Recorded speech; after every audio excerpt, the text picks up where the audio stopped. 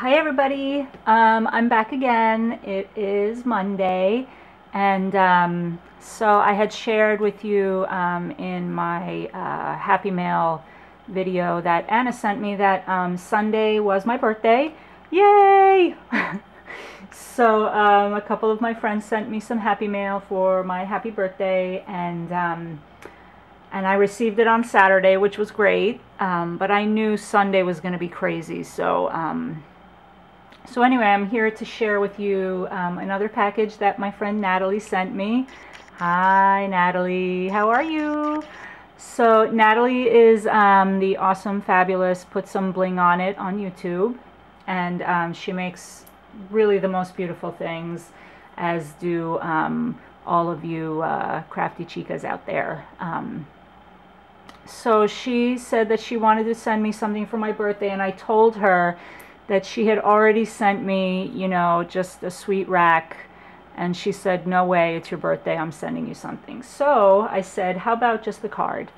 And um, I knew her little mischievous ways, just the card. But just the card and a couple of other goodies. So thank you so much, Natalie. Um, I wanted to share with you this super sweet um, card that she made out of the Scout Circle. And it's an easel card. So she used the beautiful Tilda papers and a Magnolia stamp. And I love the way that you do the, um, the lace and the little bling centers. I love that. You can see that. And these are this really sweet halfback pearls she put there and the halfback pearl strand that she put to have the card stand. And um, Natalie, your coloring is beautiful. And she put a little sparkle in her bow. The butterfly also with the um, bling. And look at all that sparkle. Oh my gosh, I love it. She really does. Just make the most beautiful cards. And the funny thing is, I never bought a Tilda, I mean a Tilda, a Magnolia image, only because I just thought, I don't know, that's just above and beyond my talent to have to like layer and match and color those beautiful images. But, um, but she did, look, send me my first Magnolia, my first Magnolia stamp and this one is she's so cute holding the um, the flower. Here's the image. And it is Tilda with Magnolia Branch. So very very sweet. So thank you so much Natalie. Um, I promise I will do my best coloring and really. I find these more intimidating than the um, few greeting farms that I have and a couple of the Gorjuss girls that I have.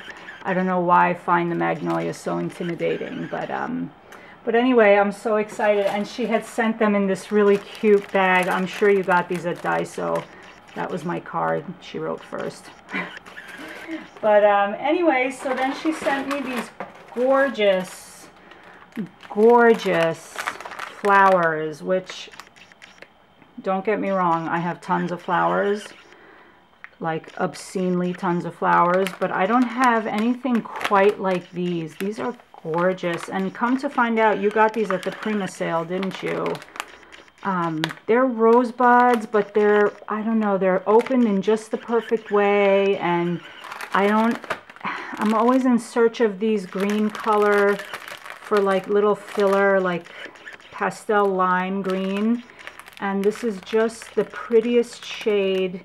And I have gorgeous ones, um, cherry blossoms and stuff like that from Wild Orchid Crafts. And But this shade is just the perfect shade that I'm always looking for and I can never find. So thank you so, so much, Natalie, for these. I love them. Love them. I love that I can color these or keep them white, and I love that you somehow like read my mind on these flowers. So I love those. And yes, I promise I am going to use everything I'm about to show you, but um, she made this awesomely cool, like it's like a handmade fry box. I don't know how to put it. I mean, look at the bottom, how cute that is. And of course she used the Tilda paper. Um, it's, look at how she used the Stampin' Up! punch here with the eyelets. And she had tied this in a pretty bow. It is the coolest. You have to show us how to do this. I have to find out. Because it's square on the bottom and then, you know, it's, it's like a fry box. And then look at this beautiful flower. Did you make this? So, so pretty with the stick pin and the sparkle. And oh my gosh, this is so cute, this button. Look at that little resin piece, that pearl button tucked in there. So cute. And then she filled it with some goodies. She filled it with these beautiful, beautiful bling pieces. Look at how gorgeous and sparkly those are. Oh my gosh, Natalie, thank you so, so much. Let me just put those in carefully. And then she sent me this beautiful, beautiful, um, oh, I know, these are, um, these are the heart appliques from Artie. Gorgeous. I love, this is my favorite. When I saw this, I was like, how am I going to use this? So pretty. And then this gorgeous applique. Look at how pretty that is. So I want to thank you so much, so, so much for sending me these. Really, Natalie, you didn't have to, but I'm so excited that you did. Thank you so much for thinking about me. Thank you to all um, of you lovely friends that um, sent me birthday wishes on Facebook.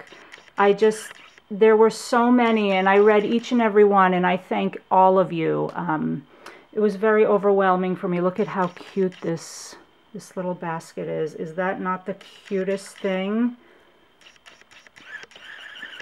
So thank you all for your messages. I read them all. I love you guys um, for thinking of me and wishing me happy birthday. And I hope you all have a fabulous week and, um, and uh, get crafty and enjoy what you do.